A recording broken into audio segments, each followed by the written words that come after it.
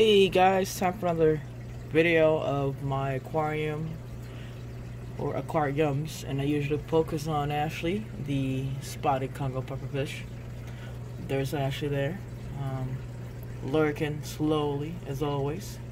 Um, so, funny thing is, I have been calling the clown loach yo-yo loach. Um, sad part, um, one of the yo-yo loach passed. Um, noticed it probably was Tuesday, maybe Wednesday, Thursday.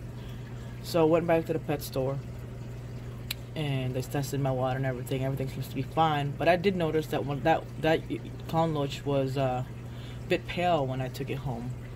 Um, so traded in for these gouramis here. I can't remember what they are. I believe they're like honey gourami. Um, so I'm trying to focus to focus this tank to be just snail eaters besides the two platies that, is, that I have here, the green lantern platies.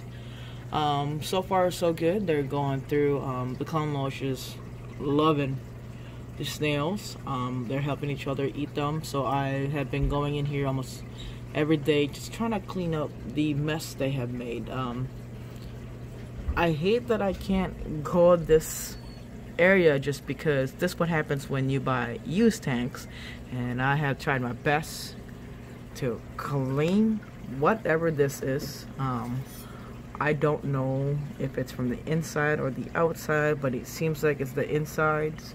So I'll have to probably drain it um, turn it around so that way this is gonna be the back um, but that's going to be another project later on. Um, just want them to get used to this tank. I don't want to keep moving them around. It's only been what a week or two? Not even two weeks. But yeah Ashley's doing great. Um, there she there's Ashley. I don't know if it's a boy or girl so we just named her Ashley. Named it Ashley. God this is so bad. Anyways um, finally put some you know some moss in there. I'm probably going to be putting more plants. Um, they are expensive, so I don't want to keep dousing it with plants in here. And plus, I have other tanks. And I can probably just get some clippings from my other tanks too. Um, but I need to put more substrate in here so for it to the plant for it to stay put. Um, I just put the sand in there. I just put a I believe 10, 10 pounds, maybe five pounds even um, of black sand so I'll go around later on and you know fix it as in make that side the back and add more sand and whatnot later on probably within another two weeks maybe a week. Just want them to get acclimated on the water um, but yeah let's see if the um, crayfishes are out. Um, the pregnant one actually made its own little home in this area so there's a lot of pebbles here. It used to be all in there but literally dug itself a, uh, a little home there.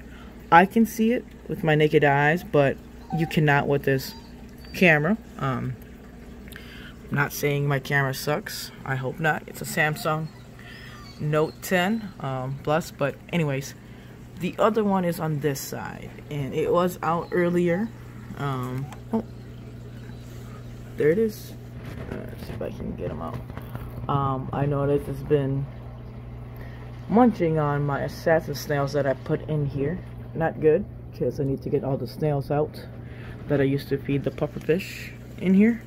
Um, angelfish getting bigger and bigger every day. Um, I'm sure he is kind of pissed that I'd no longer put snails in here but there's plenty in here Trust me, and there's a lot under this log, this fake log that I have. When I flipped it over, I picked off a lot. Um, I didn't even get to pick all of them out, so I figured I'd leave it there. There's the uh, peacock eel, also getting pretty big. It used to not be that big. Um, so everybody's super healthy here.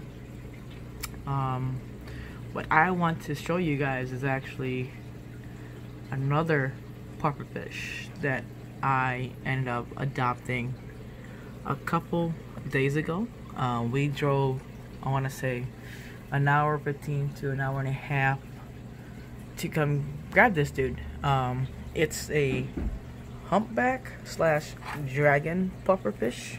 So I'm gonna slowly turn around here. Now, be nice. It's in a bare tank, very bare. Um, so it's in a 40 gallon tank right now. Let's see if I can find him. And excuse the background of the dental sticks for my puppies. Anyways, um, it's actually inside the skull right now. Um, I'm probably gonna go in here and try to make him come out. Let's see here. So anyways, um, as you can see, no substrate at the moment. I do have a couple plants in here, some mosses, and a driftwood. Um, it usually hang out, hangs out around underneath this driftwood here. Um, I did put some um, almond leaves, um, but I don't think I put enough to make the water brownish. But yeah, um, one second here. Let me see if I can get them out. I'm just going to pause the video, move the skull so you guys can see the pufferfish. Alright, move the skull. Um, here it is. Uh, from what I was told, it's a boy.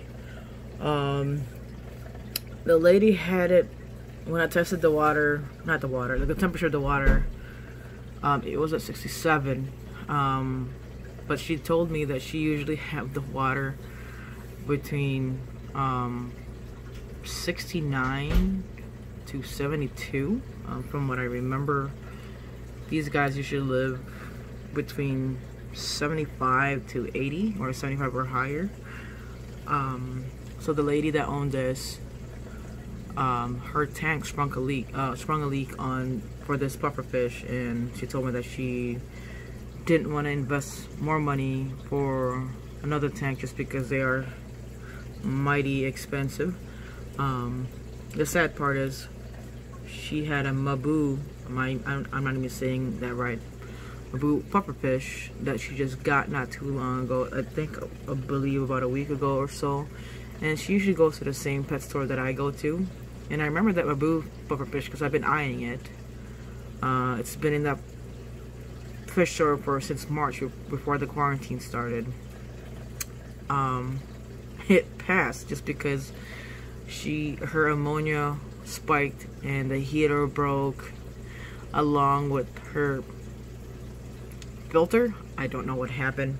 Um, I'm guessing power outage or circuit a circuit blew. I, I don't know, but there he is, pretty plain. Um, pretty dirty. This is the uh, result of him being in his tank for less than 48 hours. Um, the lady used to feed him crayfish.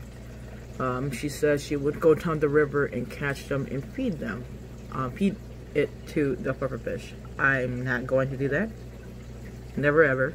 Um, so I decided to put some snails and it looks like he's eating it just fine. Um, gave it some um, guppies uh, or those mollies that I had that um, my Dalmatian Molly uh, gave birth to.